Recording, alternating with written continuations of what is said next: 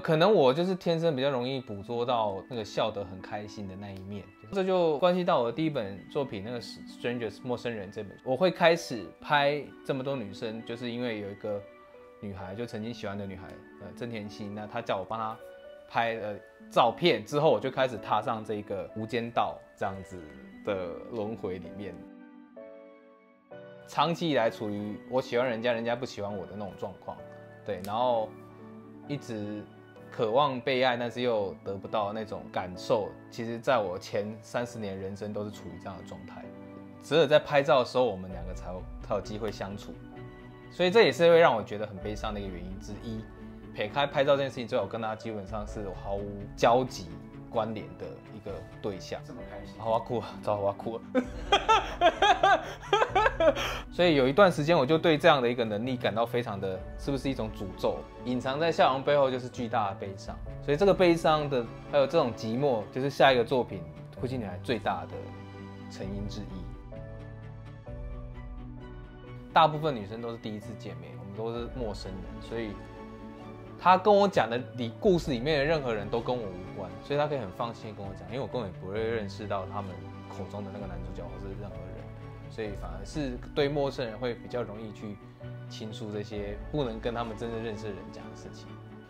应该说，听他们讲那些感情的故事的时候，我反而就是用学习的心态吧。等于说，我会拍这个作品，某方面也是想要多了解女孩子到底在想什么。第一个女朋友的确也是从拍《哭泣女孩》认识，就是整个像坐云霄飞车。这个人生经验非常特别，是前三十年没有交过女朋友，然后突然就来了女生，然后就上床，然后就同居了，然后就交往了，而且是先上床再同居，再就那先上床再交往。他说：“嗯，OK，怎么回事？这样，嗯。”放了感情进去之后，再又被狠狠的甩开，就会那个受伤的感觉就特别重，就真的是体会到原来那些女生会哭的那么难过，是真的是是真的可以哭到那么难过，是真的是锥心刺痛的难受。我也没想过，原来拍哭泣男孩到最后变成我，我就变成一个哭泣男孩那种感觉。其实人类会选择一个动物当做一个宠物，其实也是因为不用担心害怕受到伤害，因为这人。会伤害另外一个人，宠物是不会伤害你的，对。而且我就觉得说，因为是毫无保留的爱，所以就是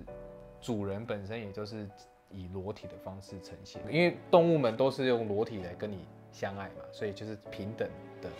关系这样。我发现女生比较愿意在另外一个男生前面全裸，哎，反而是男生不愿意在另外一个男生全裸，我都不知道为什么。有些人也是一开始可能有穿内裤，拍到后面觉得说，就其实真的有内裤有人工的东西，你会觉得真的画面上来说会比较没那么好。那他们看一看就觉得说，嗯，好，那他也是要也是就是把内裤脱下来继续拍这样。当你使用摄影这个媒介的时候，你就会知道你总有一天要面对失去这件事，而且你会感受更深刻，因为